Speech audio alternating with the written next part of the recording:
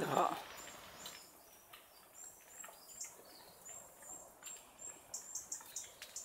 Well, here we are, Friday the 5th of September. It's about 8 o'clock in the morning.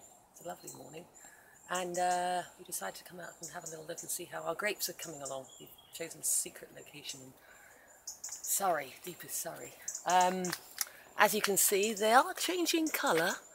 There's a little bit of even, but an awful lot of uneven ripening, particularly over here, if you can cast pan down here. Um, what we will do is we'll do a serious selection of the grapes once we believe that the coloured ones are ready to go. Let's have a little look.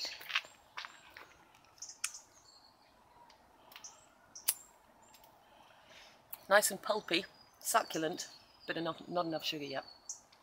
Need to wait for those to sweeten up. Skins are good. Um, let's just hope there's enough. I think there is. There seems to be significant amount, albeit hidden amongst the nettles and various other stuff on this common. but they're free. Um, how close are we to vintage? To to to harvest? At least a couple of weeks, maybe three. Anyway, that's it. Anything? That's good.